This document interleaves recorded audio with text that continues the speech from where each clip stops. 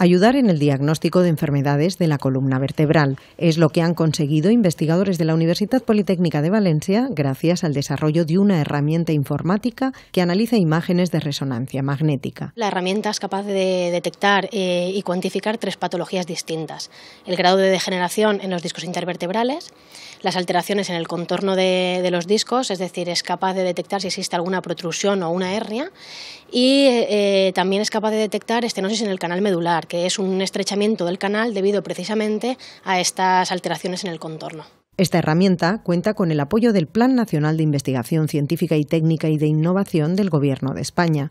El Centro de Biomateriales e Ingeniería Tisular de la UPV ha liderado la investigación con la colaboración de la Fundación Instituto Valenciano de Oncología, la Red Española de Investigadores en Dolencias de la Espalda y la Fundación COVAX. El software ayudará a conseguir un diagnóstico más objetivo. Con esta herramienta lo que hacemos es introducir una valoración cuantitativa reproducible, que esto es importante porque da lo mismo las veces que lo ejecutes, siempre va a salir lo mismo, y objetiva, reduciendo este modo la variabilidad que existe entre los propios eh, radiólogos a la hora de, hacer una evaluación diagnóstica. Para elaborar esta aplicación informática se han utilizado las resonancias magnéticas de 16 pacientes y se ha validado en 52 enfermos. En la actualidad ya se está utilizando en el Instituto Valenciano de Oncología. Las conclusiones de la investigación se han recogido en un artículo publicado en la revista especializada Computers in Biology and medicine